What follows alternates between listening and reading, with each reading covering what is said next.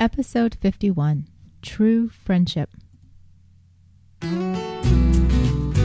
This is the One Extraordinary Marriage Podcast, home of the Seven Days of Sex Challenge, featuring your hosts, the authors of the groundbreaking new book Stripped Down, Tony and Alisa DiLorenzo.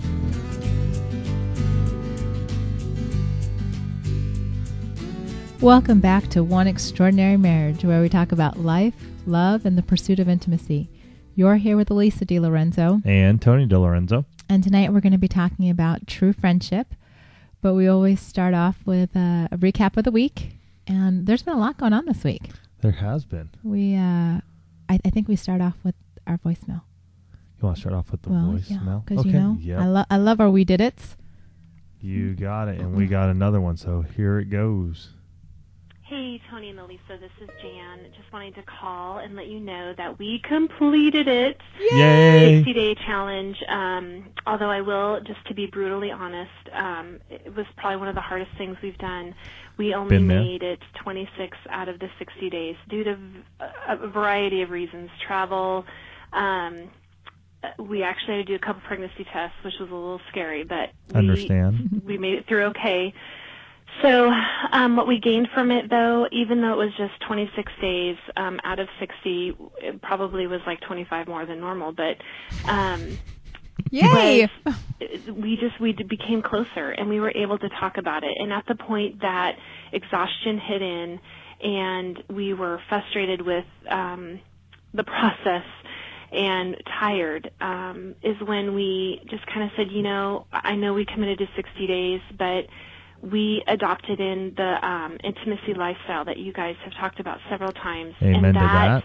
just really calmed us both down and even brought us closer together to Right where on. we are able to talk about things that we weren't able to talk about before.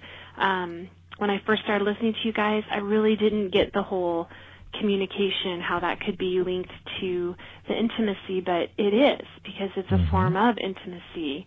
And when both persons' love tanks are being filled, um, you know, the ultimate goal is met, which is being able to be close and talk or just be together. So I thank you guys for that. Um, love listening to your podcast, trying to catch up. The last month's been crazy. So um, today marked our 60 days. So I wanted to call in and just thank you guys for putting it out there. And um, we were really brave and we embarked on it. Um, crazy, but loved it. So uh, thank you guys so much. And um, I look forward to keep listening. Yay, Jan and your hubby. Um, so excited for you guys and loved hearing that the takeaway was one, that you were intimate and had sex much more often than you normally would have in a 60 day period. Right. And two, that you realized and strengthened your communication. Um, And I you think know- I think it, was cool though that instead of being discouraged, 26 out of 30 days is is really uh, well. No, they did 26 out of 30. 60. Oh, 60. Oh, oh, out of 60. Oh, oh, I thought she said 26 out of 30, and then they didn't do the second month. No, listening years. 26 out of 60. Yes, I'll put on my. I, I understand. I, I just happened to think that I thought that the 26 was in. Okay, that's still good. Okay, I like it. But the reality is is that i mean even you know for the average couple if you go twice what was it four times a month once a week what's what's the average Once a week, I think. once a week so that would have been eight times so they tripled Right. what's being oh, done uh, oh, I, I think And- I think the big takeaway too is that they found that the intimacy lifestyle is a way to live. right You can you can you went for the 60 days and found that wow exhaustion. Yes, I've been there. We both know that it. You It's get, hard. You get exhausted, um, physically, mentally, emotionally, and so for you to have an avenue though to go, wait a minute, we can still do this, mm-hmm. which is still beneficial to your marriage, is so right on. Abs- absolutely Y- you know, and I think that's that's huge for those of you out there wondering, well, could I do it? Can I not? You know, listen to what Jan said. There is they went after it, but they didn't just give up and blow it away because it didn't work. They found another avenue to still make the sexual intimacy a part of their lives. right and that's So I thought that was huge great. jan thank you for calling in we love getting those we did it phone calls. Mhm. If you are listening out there and you've done it, we want to hear from you. That's right. Give us a call on the uh, caller number. It's 858 876 5663. We want to know what's going on out there. I mean, obviously, you know, last week we had Lester and Reagan, and they did the 60 days. More power to them. I, Mhm. I'm still blown away um, by Hmm. that. But, you know, and then we've got Jan and her husband this week who did 26 out of 60. And look at how both couples, two different scenarios, both couples gained so much from the experience Right. that if you're waiting to say, huh, I wonder if this is going to work for me, I'm going to challenge you to say, you know what, just do it. Yeah. Just do it. Make it happen. Stop wondering if it's going to work and know that it will in Right. some way, shape, or form. And, you know, if 60 days is daunting, scale back. Go Seven 30 days. Go two weeks. Go seven days. I mean, we had a lot of marriages change in seven days. when we did the seven days of sex challenge. Right. So, we really did.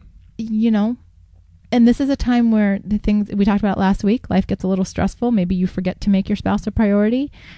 Here's a simple way to do it take the seven days of sex challenge. Yeah. Bring that into your marriage before Christmas and see if you can't bring some of that closeness back that might be missing right now. right. Um, Good things that happened this week for me. I'm thinking, you know what? I had a I had a really good week. I had some really cool phone calls, a, a number of interviews that we will be putting out on Fit Marriage, and one of the coolest ones. If you guys haven't checked it out on the Fit Marriage Show, it's my video interview series that I do with health professionals, personal trainers, wellness guys. But my last one, episode five, was with Robert Panzera of Cycling Camp San Diego, a good friend of mine, and he wrote a book called Cycling Fast.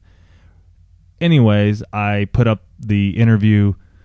Folks liked it. It so happened, though, that his publisher got the information that he was interviewed and happened to go, "Hey, I loved the interview format. I I really enjoyed it. We have other authors who we would like for you to consider interviewing." And I was just on cloud 9 and so happens Elisa was home and she jumped on the computer and goes, "Well, let's see who they have." and this publishing house called Kinetic Human Kinetic human kinetics. Human Kinetics. Th- They have a number of amazing authors in the the Fitness health and fitness, exercise realm. and one of one of their authors has over a million books sold.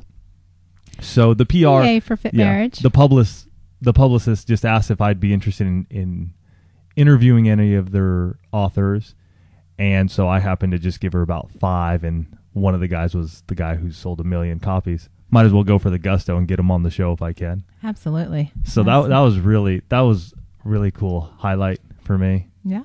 You were a guest blogger on uh, I was. Anonymous 8. Oh yeah, that's right. oh, I was. I, I, Yeah. I have to take you all the way back a week ago. That was know, Monday that was last long. week.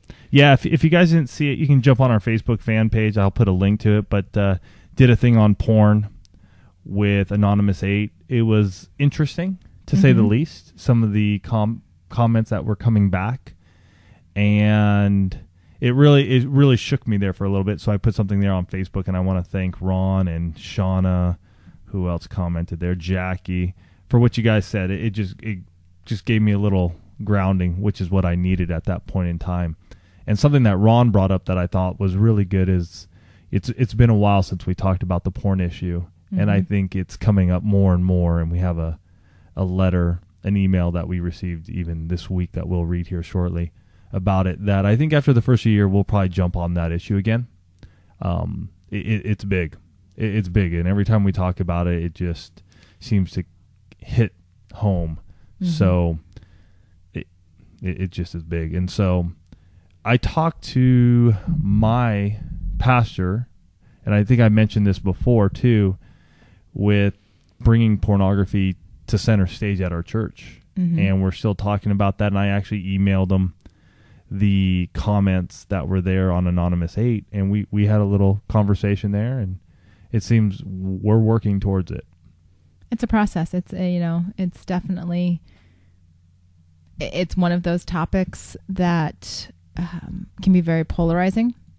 and we saw that in a Mhm. lot of the comments um, that Tony had received in reaction to his blog, and you know, like Tony said, I mean, we've we've done a couple episodes over the last year on pornography, and every time we do, um, we receive so many emails back from all of you, emails, voicemails, just sharing similar stories Yeah. to what we've gone through or you know knowing someone who's been in that situation that you know some of these comments saying that you know pornography is not an addiction and and these other comments that were on the blog were um yeah just kind of made you scratch your head um, Yeah.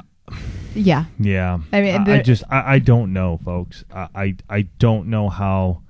A, a lot of it was coming down. Well, there must be something wrong with me because if I can't handle it, or if, if it's there's a problem in our marriage and right? and you know my response back to that was tony was addicted to pornography long before he ever met me Right. pornography came into our pornography was a part of our marriage before I was in the sense that it was a part of him before we ever were married.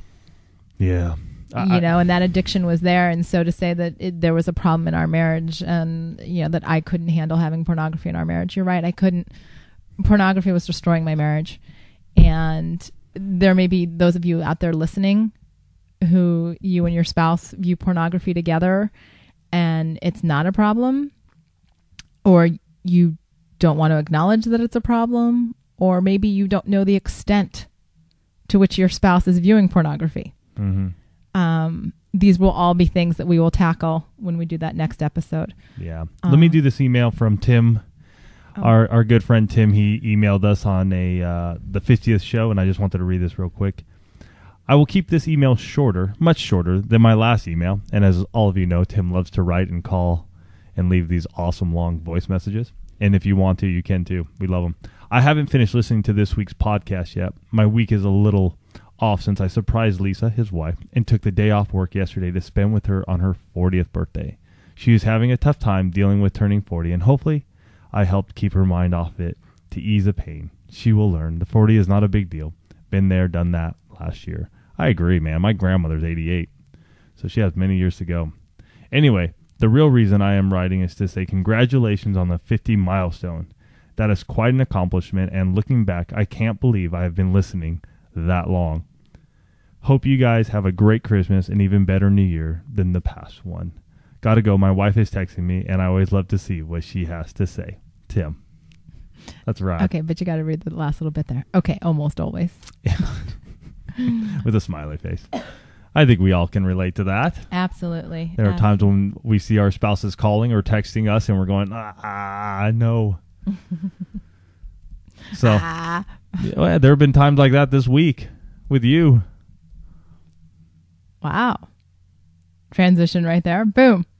Did everybody get a little whiplash from uh from that? Go ahead. What do you no, want to say? I'm, I'm no, I'm just saying there have just been times this week where I felt that way with you. Oh, okay. I feel that there are times when we're just the the the, the when I notice it the most is when we are disconnected in our communication, and then something happens, and I got to react to it. Such as. No, I just I just there are times when we're up late and Okay. we're not getting in some good conversation, which which was has happened this past week or so as Mhm. I've been doing a lot of stuff with Fit Marriage and getting these last couple of products together before 2011, and I just I just noticed that you know we're not in our we're not in that routine of just being able to sit down and have our good conversations. Um, you know, we haven't done a devotional in a gosh four months. It hasn't Three been months. that long. Couple months. Yeah, Couple easily. months.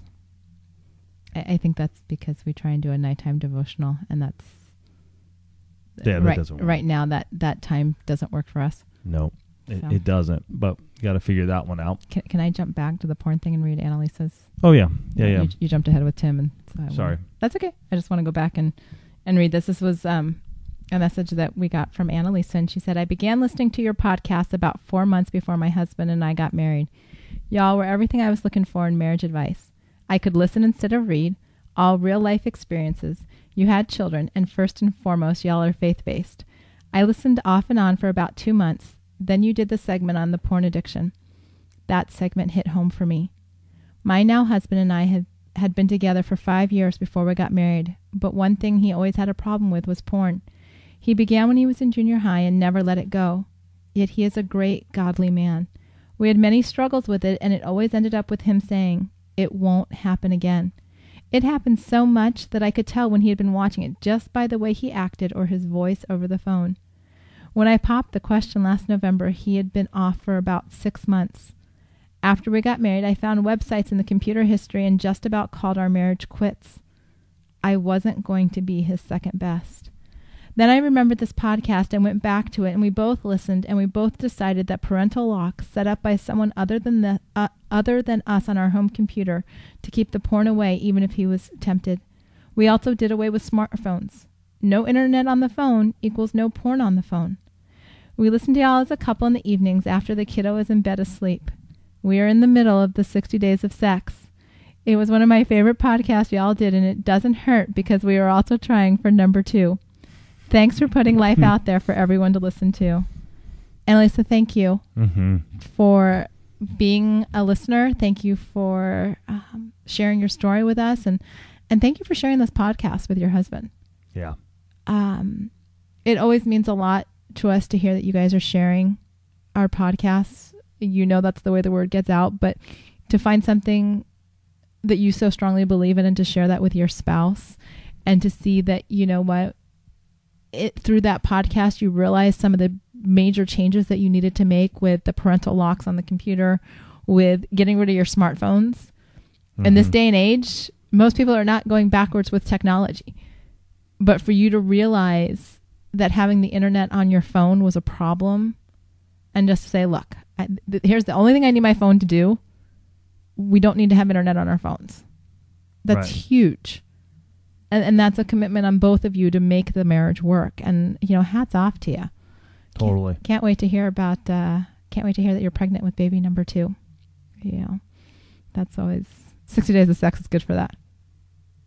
If you want babies, yes. if you want babies I don't want any more babies. Well, that's when you take precaution. That's Right. that's the flip side of the 60 days of sex or the 7 days or the 14 or whatever you decide to do.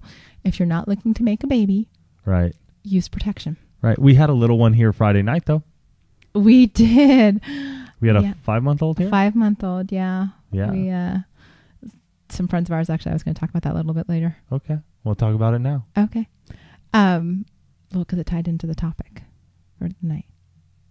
That's what I was going to talk about later. But okay, Okay. so Friday night we had we had our fi- we had five kids in our house. I house. guess this is part of our week though, isn't it? it is. Okay. And Can uh, it be brought up twice? Sure. Okay. So, good friend of mine, um, her husband is in the Marine Corps, and they are actually getting ready to be transferred to another Marine Corps base here in Southern California.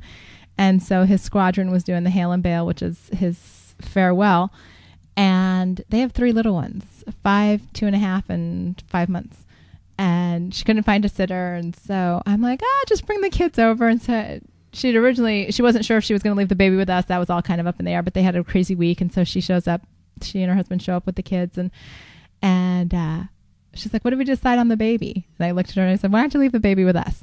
So we ended up with our almost eight year old, two five year olds, the two and a Mhm. half year old, and the baby. Mhm. And I have to say, all of you that have more than two kids, my hats are off to you. Mhm. Holy cow. It was um Yeah. God bless you. it was an adventure. Serious. I. I yeah. Uh, Everything from their little personalities to well, and I mean, obviously, they they come from di- all different parents, so well, two sets of parents. yeah. But you know, it's just like we let our kids jump on the couch, and so they walk in and see their kids jumping on the couch, and they're like, "Wah!" and I'm like, no, it's okay here because our living room is like a playroom. I mean, Yeah. Right now, that's what it is. For us. Tony and Alex play football and we wrestle and the kids, you know, dive bomb off the couches and um and then we got to see, you know, a very different side of Abby. Abby absolutely loves babies up until her mommy spends lots of time holding another one. and she didn't dig that one. she did bit. not by the end of but the that- evening. but Alex, on the other hand, was just very loving and Alex kept wanting to hold the baby and I have never seen that side of Alex with babies. yeah, He's it's like- interesting. Yeah, considering today was his, we had we had his eighth birthday party with all the boys and the friends, and and I had to get in there and get in his face a little bit and tell him He's to copping a little attitude with his mother. a little chip on his shoulder. yeah, I a mean, sass and the attitude. We were playing football, a little tackle, a little touch, and he was just getting a little out of control there. a little big for his britches. Yeah. So Yeah, it, it was so- interesting. So yeah, so five kids on Friday night, birthday party today. Um, And, and the thing about Friday night though is, if you're looking to get out and you have kids and you're like, I can't make a date night happen, find a friend, do a swap. I know I was talking with somebody on Facebook. I think it was Carrie.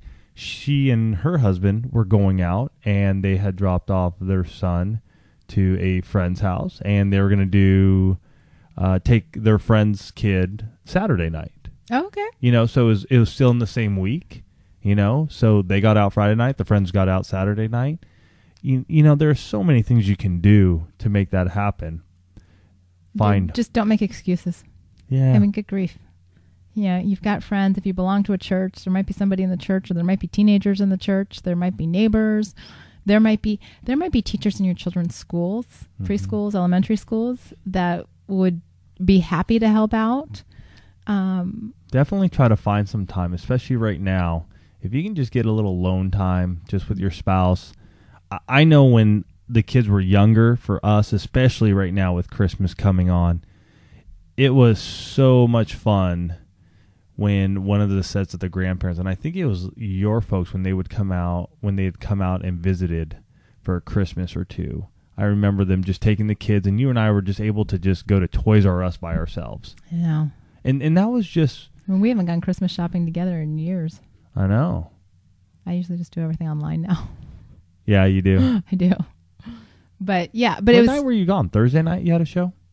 uh, Kids and I yes. go kids and I went to go pick up your present.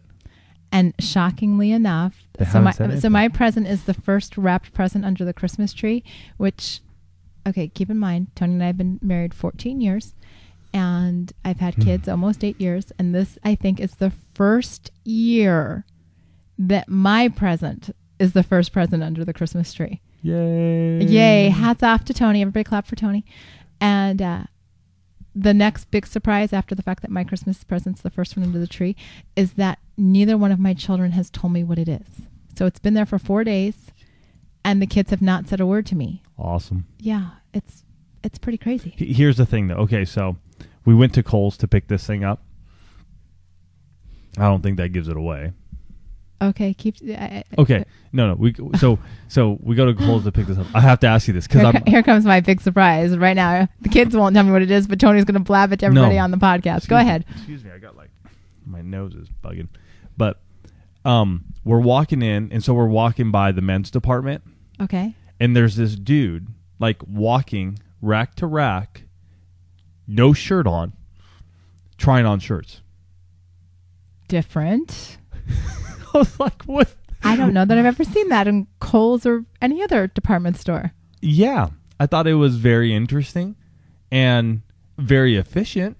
You know, because you don't really have to pick out a couple because you only can bring what five in there at a time or whatever. So Yeah. you're very efficient. I mean, you walk to a rack, you try on a couple shirts. If you like one, you you put it to the side. If not, you go to the next rack.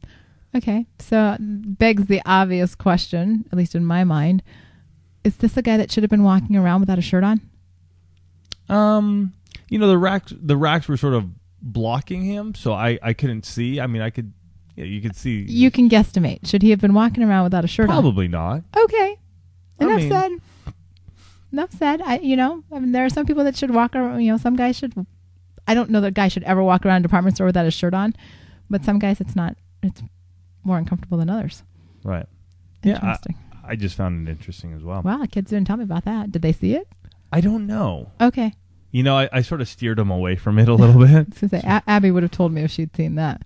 That would have been. And the other thought is, is you know, does this dude like if he needs to try on different pairs of pants, does he just like walk around without his pants on? Well, you know, let's. Uh, yeah, that's weird. I I thought That's weird. wow, some of the things that I don't find out about until we get on the air with you guys. Right. Um, okay, so here's the funny thing that we did this week. We went and looked at our iTunes. Um, oh, one thing I want to bring up though too. Okay, you go first. What's the little jewelry you got going on? What's the little jewelry?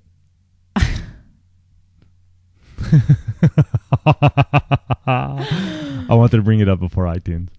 Why? because we might get like reviewed on iTunes because of this. Well, what would you like to say about it? I'm not saying anything about it until you say something about it. Okay, so I've got a little bling going on Where? below the belly button. Nice. Below the belly button and above the thigh. Let your imagination do what it will. All right. A little rhinestone action. And this rhinestone action is called what? It's called vajazzling. Okay. Except that's the official term. I just did it on my own. And, and what's the purpose of this? Decoration. I mean, it's like wearing a pair of earrings, just in a different Mhm. location. Got it. Wearing a, you know, it's like the kids get their little tattoos, their little rub on tattoos from the birthday parties. Same Mhm. kind of concept, but with rhinestones. Got it. Got it? Now, what would you like to say now that you totally put me on the spot and I wasn't expecting that to come up? Could a guy do that? Sure. Really? Why not? I don't know. You laughed at my silk robe and my bearskin rug. Oh, well, I thought you, I didn't realize we were talking about you specifically. I thought you were just Oh. talking generalities. Okay. I- yes. Generally speaking, yes, guys could. You, it would probably make me laugh. Oh, you're funny. Here's the deal. I think your body is fine the way it is. I don't think it needs to be shaved. I don't think it needs to be. Well, no, I'm shaving my chest. I, I'm shaving my chest. Okay. I, I have come to that conclusion after looking at myself in the mirror today. Oh, just today, as opposed to every other day when you look at yourself in the mirror. That's about every three days. You look at yourself in the mirror every day, dude. Yes, I look at my face in the mirror every day. no, no, no, no. Ever since you got the six pack, you're like, wow. No, I do not I do that every day. good. Get out of here. You might not say it out loud, but I know it's going through your head. Oh, yeah, every once in a while it does. You know, I have a little ego problem every once in a while, and that's It's those are- large. yeah, those are the times when I just got to go, okay, you know what? It's not all about me. Okay. Can I talk about iTunes now? Bring us back down to earth. Yeah. So if you do enjoy our show, we would appreciate it if you did go onto iTunes, rate it, leave a review. It just shows other folks that do come on iTunes and across us on iTunes. Many of you have found us because of iTunes. I mean, it, it's just truly amazing when we read these, and you know, I think there's like 18 or something. But a lot of you guys have found us through iTunes. You put marriage in or Christian marriage, and we pop up, which is just really cool. It would just it it just helps to broaden the audience to reach more Christian married people if you guys go on there and you review it and you leave a rating. iTunes loves that. We get pushed up higher. And that way we can reach other Christian couples out there that might be in the rut you were in before you came and started listening to us. And that's what it's about. It's about bringing godly people together to realize that this marriage thing isn't always easy. It isn't always fun, but we're here to help you along and just share a little bit about what we've been through. So, So I just wanted to read, a, read a couple of these because we hadn't looked at this in a while, and so um, there was a comment on September 10th from Charisse, and she said, you know, the subject was "Got me back on track," and she said, "I had one and a half feet out the door when I found this podcast. They are so easy to relate to and help me recognize what I can do better to save my marriage. I save my favorites on my iPad to iPod to refocus." They don't have all the answers, but don't profess to. Their commitment to each other is, is inspiring. Bless you and keep up the good work. So, very excited to hear from that comment from Charisse. And then there's one just uh, December 1st by Renee. And her subject, this is the reason that caught my attention. It said modern day Adam and Eve. And uh, so, of course, I was like, what is she, what is she talking yeah. about? And so here you go. One Extraordinary Marriage podcast is voiced by both husband and wife, in which I hear about the joys and trials of marriage, and even better, how to overcome certain obstacles. Tony and Alisa are honest and transparent in each discussion, which I truly appreciate. I can only describe this couple as a modern day Adam and Eve because of their understanding of the design, purpose, and pleasure in marriage. Yet, because they live in today's world and not a garden, as do the rest of us, they face challenges in marriage and earnestly resolve them. You will be blessed by their ministry. Thank you both for sharing your podcast, Lives and Heart, with strangers. You are truly impacting lives, marriages, and families for the better. thank you. Thank you. That was just, again, I wasn't sure where, she, when I saw the subject, I was like, modern day Adam and Eve. What are we being compared to? Um, but it's it's always nice to hear that you're able to take something away from the podcasts. Yes. Um, I, I think you can tell listening to us most of the time. We have a pretty good time doing this, even when we put each other on the spot. And, um, you know, it's just, it is a ministry for us. We, like I said earlier, appreciate you sharing this with others um, because if it has impacted your life, chances are you know someone who could benefit from listening to this podcast. And so, thank you to all of you who over the last you know 11 11 and a half months have been sharing this podcast you have truly made a difference it, it's really not us it's you guys sharing it Mhm. um, and getting the word out you have made a difference in who knows how many marriages but know that every time you click share or you like us on your facebook fan page and your friends are like oh what's that about um, you're impacting others and that's that's awesome yeah. um, so one last thing before we get into the get into the topic. Tony, Hmm. what was the first thing that attracted you to me? Question of the week. Oh, you dog. Oh, got you. You're. Got you, I was got supposed you, to give got you that one. No, no, no. He did this to me the other day. So the Oh, last two weeks, he puts it. up the question of the week, right? That because that's one of the many, many. I really am just a voice on the microphone with this. Tony does all the other work. Yes. And so the last two weeks, he's put up the question of the week, and we've gotten phenomenal feedback. If you haven't checked us out on Facebook lately, click on to One Extraordinary Marriage and um, go to these two questions of the week. You'll see, you know, 20 to 25 comments. Well, this week it was, you know, what was the one? Well, and last week was the most memorable moment in your wedding on your wedding day. Lots of good answers there. Lots of. Oh my gosh, I just love reading those. What was the one thing that attracted me to? you? What was the, oh, the your question was, what was the first thing you noticed about your spouse that attracted you to him or her? He asked me this two days ago because he was going to throw it. He was going to throw me uh, on the mic tonight. I know, and I look totally at me.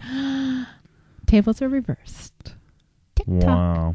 You know what? What was it that we did a lot of that that first summer? We sat. We sat in front of a TV and we watched uh, O.J. Simpson Mm-hmm. and World Cup, Uh huh. and we talked. And I think a lot of it for for me was conversation Oh, we dude. had. dude, that. Okay. I am giving him a hard time because when he asked me this question on Saturday, that was my answer. And he's like, oh, no, no, no, no, you can't use the conversation thing.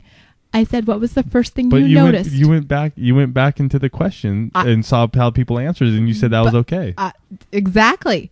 But what I'm saying is that when I asked, when you asked me this question, that was not Mhm. an acceptable answer. So try again. TikTok. Your no, your, your beauty was Tick-tock. was captivating. You're trying not to burst out laughing right no, now. I am serious. Remember when we we had those pictures of of us when we went out on our first official date? that took three hours for the girls to get me ready. Right.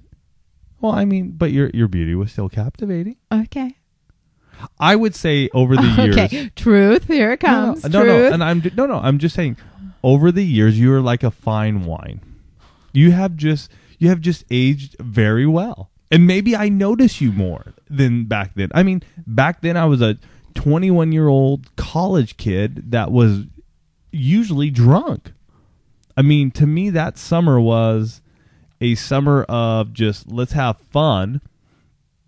Never had the intention of meeting my wife.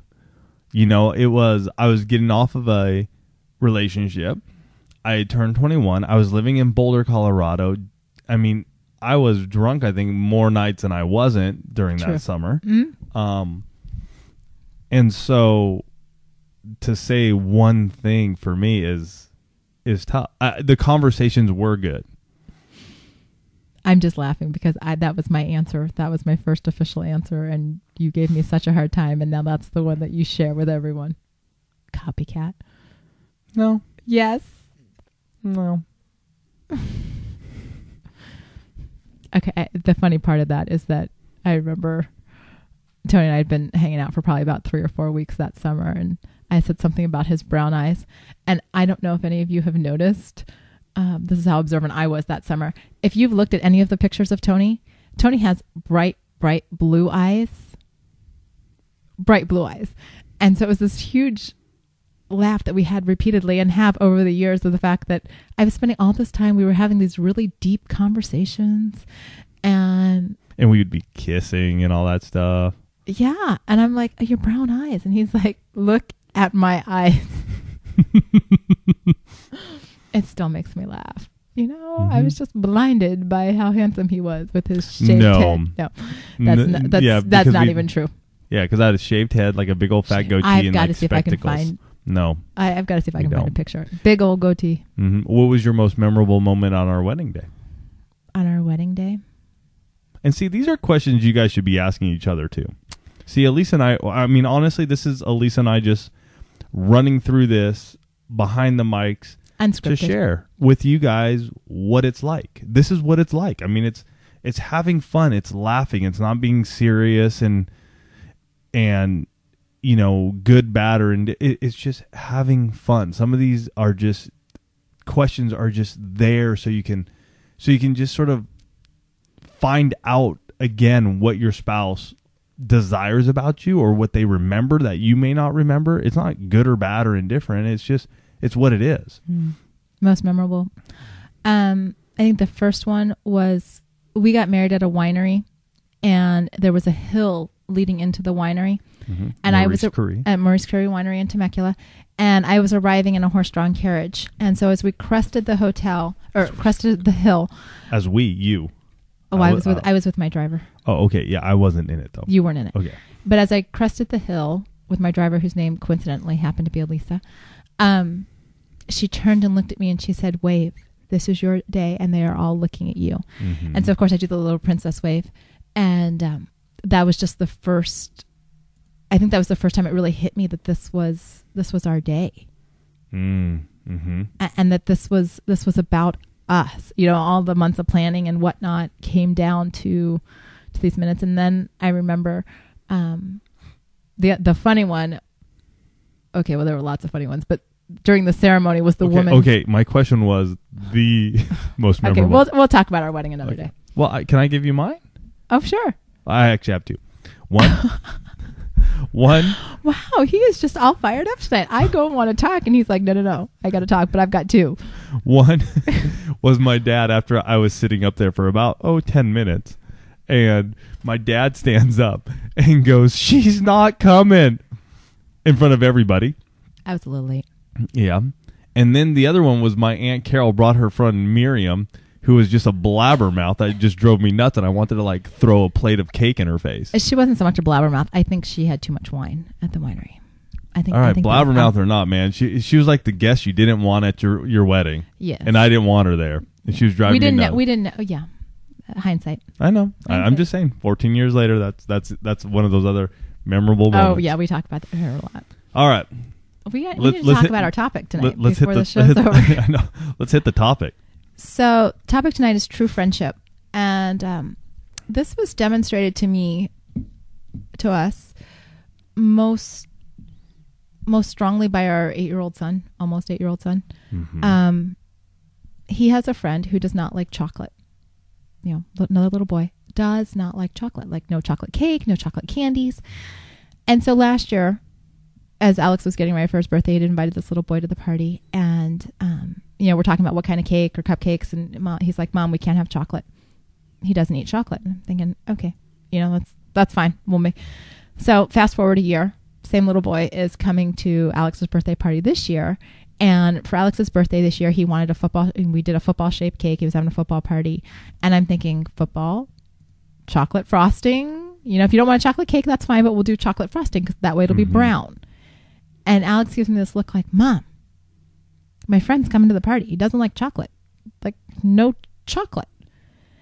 And, you know, it hit me, you know, because we've had this little boy, the boys have been friends for two years now. And um, the lengths that Alex is willing to go to for his friend.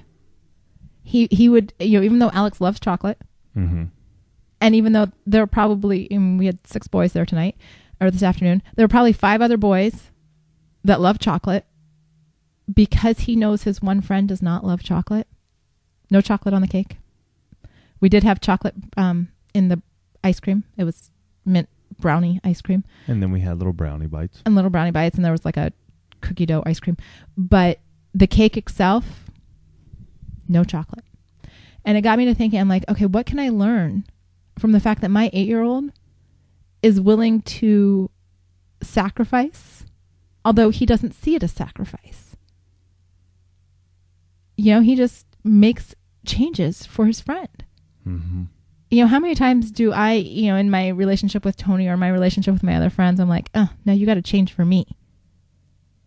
Instead of looking at the other way around and saying, you know what, if I was really a friend, I would just do it. No expectation of repayment or reciproci- recipro- reciprocity. No expectation of, you know, there's going to be this expectation of gratitude or anything like that. He just does it because he knows this will make somebody else happy Mm-hmm. and and I'm just like, oh my gosh, you know, once again, humbled by my children, and and just brought to brought to task on what I'm not doing in my own relationships or what I could be doing better, Mm-hmm. you know. And it's one of those things too where that same friend that I um, mentioned earlier, who had her three children over at our house, um, on Friday night, as they're making this transition from one military base to another, Christmas has been up in the air for them. And we're not, we're spending Christmas with Tony's family. And so I started making phone calls to the relatives saying, Hey, is there room for five more? Can we, can we do this? Um, because the other, the other issue with friendship is that sometimes, and I don't know, not being a man, I don't know if this is hard for men too, but sometimes for women, it's very hard to ask even our closest friends for help. Is that a problem for men? Um, you know, for me, there there are definitely times, yeah, when it is difficult to ask for help. It, the relationship needs to be built, obviously, and I think there comes a certain level of trust Mm-hmm. and understanding when it's not so hard for me Okay. or difficult. I mean, there there are definitely certain guys over the years now that I've built those relationships with. I, I would say five years ago, four years ago, I don't think I had anybody like that. Okay. You know, it's been in the last four years that I've really honed in on some of these relationships and, and nurtured them enough to be able to ask for help. I was just curious because I know for, I mean, I know there are times when it's hard for me, although likewise, over the last few years, I've really cultivated a handful of friendships that, you know, whether it's an emergency medical situation or, you know, something as simple as I'm running late, I need someone to pick up my children, or we've got a family crisis, I need help. You know, there are a few of those friends now that I don't think five years ago I had. I I know five years ago I did not have, and and so it's one of those things where with this particular girlfriend, um, in my mind, the thought for them being alone for Christmas Right. was very very bothersome. You know, because she has become such a close friend over the last two years. Um, her son and Abby have gone to school together. She's just been someone that, on so many levels, I've connected with Mm-hmm. and very sad that they're going to a different base um, because we've seen each other for the last two school years every day. And, you know, I'm so thankful to my in laws that it was never a question of having two more adults and three more children for Christmas. It was just, this is what we need to do. Mm-hmm. We don't let people be by themselves on Christmas. I mean, that's kind of, you know, you guys have heard that's how we view Thanksgiving and Thanksgiving or Christmas is not our holiday. So I have to ask to invite a few more. But, you know, do you go out of your way? If you know someone's going to be by themselves, do you, do you say, hey, come join us? And here's the other thing: when you do open yourself up that way, you are opening yourself up maybe to a point where you, in your mind, it's a no-brainer. They're going to come over, but they may have something else that they already had planned. They may not feel comfortable. So don't take it hard if somebody goes, you know what, I can't make it. Mm-hmm. I think that's what stops a lot of us from asking people for help is are they going to reject me? And that rejection is what ends up stopping us cold. Right. And when you just put it out there and just go, "Hey, I know you guys might not be able to be or you may not be somewhere for this holiday. And I mean, we're talking about holidays because that's where we are right now. It, they may say no, but it's it's okay. and, and that's you know for me i would much rather have friends you know whether i mean we invited abby's entire Class. entire class for thanksgiving and no one came and that was fine. I would much rather have put the invitation out there and had everyone say you know what? We've got plans. We're going here. We're going there. Mm-hmm. And to know that they're all covered than to have gotten over the thanksgiving break and found out oh yeah we just stayed home because you know we're new to the area and we didn't have anywhere to go. And you know Right. think about for us obviously we've talked about this before we we live in a military community But I, I want to bring something up because we're talking about friendships and everything. And one thing that does have to happen in a friendship is it needs to be nurtured. yes And so I think a lot of times we sp- we spread ourselves thin. We- oh, I got that friend, and I got this friend, and I got this friend, and I got that friend, and our and our friendships are very shallow.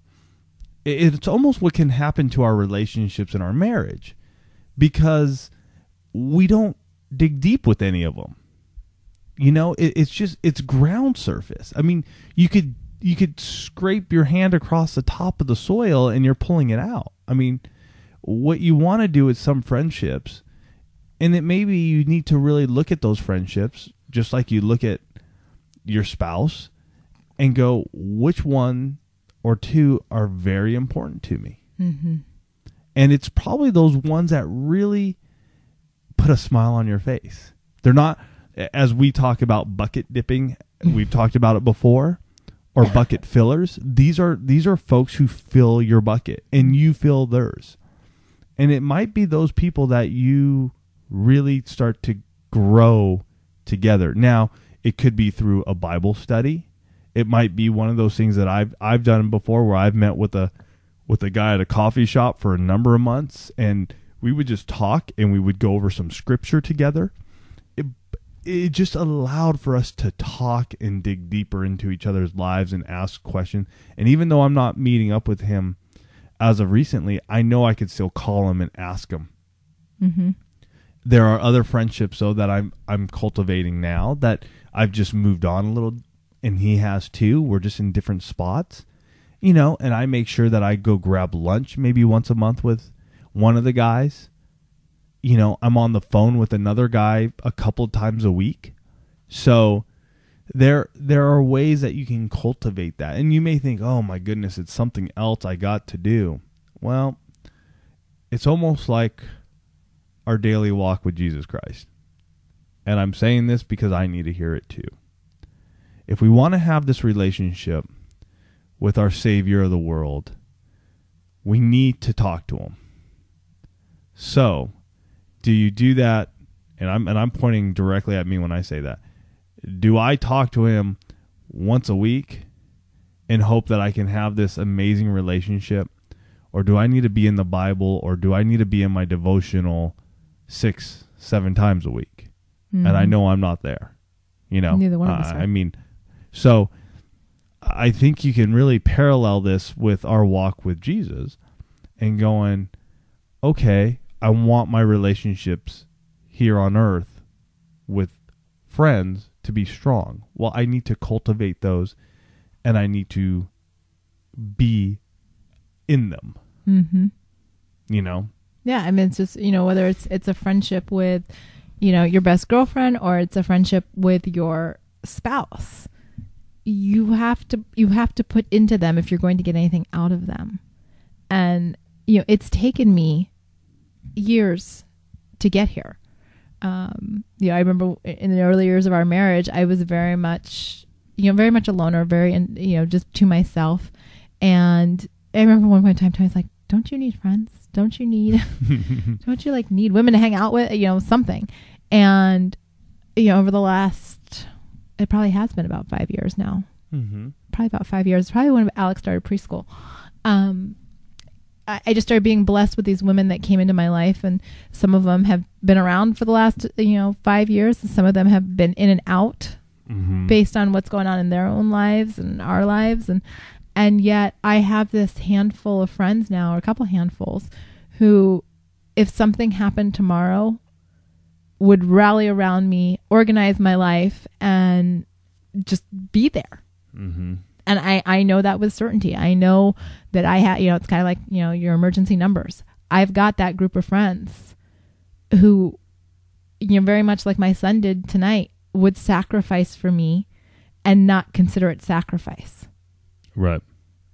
You know, who would say, this is this is what needs to happen. And for for husbands and those of you who have younger kids, and you may not be doing this, you may go, "Hey, my kid needs his mom or her mom," and so you don't take the kids enough. It may be time, and I can only say this from experience because I didn't do a good job at this at, at all when when Alex was young. I mean, I just I just wouldn't let Alisa get out because I was like, well, what am I going to do with this kid? Um, it wasn't until Abby came around that I realized that Alisa needed to get away from her kids and have some time with women. So if you're noticing that your wife is a little tense, she needs to get away, maybe she wants to go find or not find, but she wants to get out with her girlfriends, you, may need to pick it up and just go, "Honey, I'll take care of the kid or the kids. I, I will I'll step up to the plate." I had to learn this myself. It was tough. Um, there were many, many nights where my kids would just cry and I would go crazy. But you know what? I know I was filling Alisa's bucket. As much as I was spent by the time she got home, I know that a lot of good came out of that.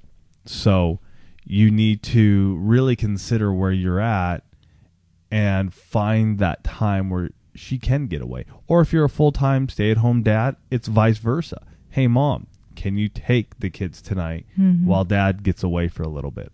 Yeah, I think you know it's important for spouses to foster those same-sex relationships, whether it's you know the, the wife or the husband. You need to have you need to have people outside of your marriage that also energize you. Yeah, and this these are not these are not relationships where it's husband bashing and wife bashing.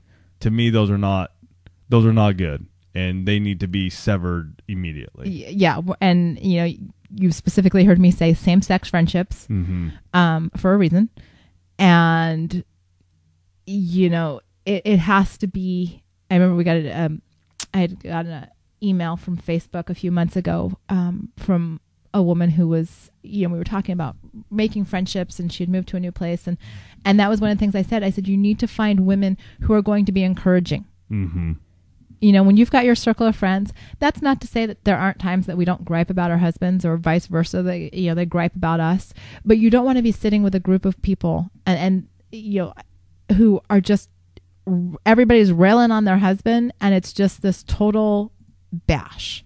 Right. Guys can do no good. They're just, you know, they can't take care of the kids. They can't take care of the house. They, you know, and you come home and you're like, you look at your husband and you're like thinking, well, what good are you? That's not what we're talking about. Nope. I'm talking about spending time with women who build you up, who are there to listen if you're having an issue in your marriage, mm-hmm. but who are going to encourage you and direct you and speak to you truthfully. Mm-hmm. You know, the whole thing about being a true friend is that there are times when being a true friend really stinks. Because sometimes you have to speak truth to your friends, and that's not always easy Nope. It's not easy to say you're screwing up. It's not easy to say you made a bad decision. Excuse me. Alisa's been having this cough that Miss Abigail gave her. Yeah, that's that motherhood part. Um, but so much in a true friendship where, like Tony said, you know, you've you've developed that trust. You've developed those roots to that relationship. When spoken out of love and in a spirit of love, those relationships should be able to weather the truth. Yep. It, it might, you know, definitely there are times when it puts a strain on a relationship, but you will know who your true friends are because they can handle. you know, it's kind of right. like that line out of A Few Good Men. You can't handle the truth. Your true friends can. Mhm. And those are the ones that, just like my son, who I look at him and this little boy and, you know, this other little boy that whose mom made the comment to me, and it was probably one of the best compliments I've ever received about Alex. So another mom looks at me and says, "You know what? Al- you know what my son says about Alex?" And I said, "No idea." You know, um, she said, "He says Alex is always his friend. Mm. Not when it's convenient, not when there's nobody else to play with, uh, just always." Yeah. And that was one of those comments that I heard, and I thought, okay, that's the kind of man I want my son to be. Whether your child's an athlete or, you know, the head of the science club or whatever, I want to know that my son is your friend always. Right. And that's the type of person that I want to be. You know, I mean that that's a lesson to me that no matter who who I'm friends with,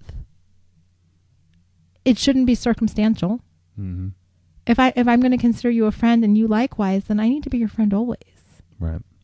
You know, and it just words of wisdom or life lessons, I guess, from an eight year old. You know, teaching his mom Yeah. a few uh, a few, things. a few things. Nice. So, a couple of things before we wrap up tonight. Um, Amazon. Amazon. Those of you who, like me, are doing your last minute Christmas shopping with two weeks to go, please click through uh, on the resources page, the Amazon link. That is an affiliate program, and so we do get a small commission out of of all purchases made through that link, and so we appreciate that. We still have some copies of Stripped Down. If you'd like to purchase that for a friend or a loved one for Christmas, Mhm. you can put blowout in the coupon code and you'll get it for $10 plus shipping and handling. And Tuesday, the day that you are first able to listen to this podcast, uh, December 14th, is the last day of the top 10 marriage blogs Yes. contest. Um, so if you haven't voted yet and you're listening to this on Tuesday, Vote. hit pause, or actually just, you know, we're wrapping this up. So just Yeah. wait until we finish and go through um, to themarryblogger.com and look, you'll see on there the, uh, Or you can go on to oneextraordinarymarriage.com and right on the right hand side, click it and you'll get right over there. But please vote for us. We don't know where we are in the standings, but, uh, We We- hope to be one of the top 10. We hope to be one of the top 10. We know lots of you have already voted, but if not, this is your Tuesday is your last day. So please do so. Um, on the 14th as well, it was six years ago that we lost our son Andrew to an early pregnancy. And so we have Alex's birthday on the 13th, and then we have Andrew who's in heaven with great grandma Blanche and everybody else.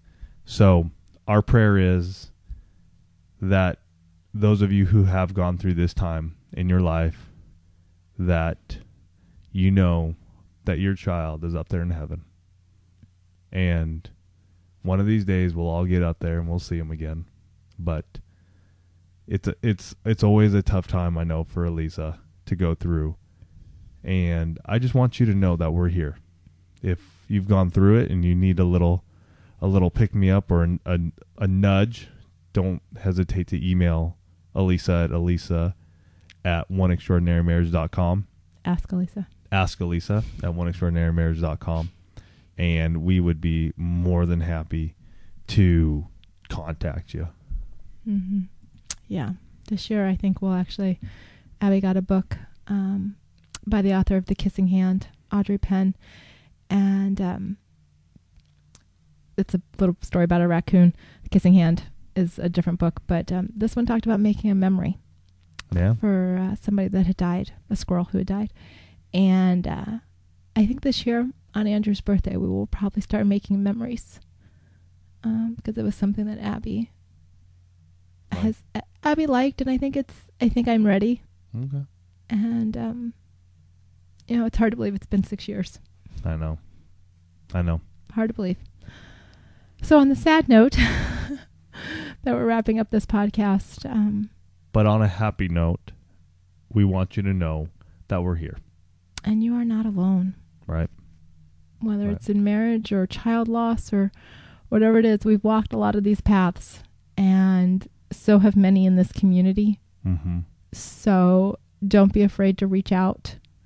Um, sometimes just that first act of reaching out and making a connection with someone is the hardest. But once you realize you're not alone, there's so much empowerment in that. And it just just know you're not alone out there. Right. So, on that note, everyone, we love you guys. Have a fantastic week.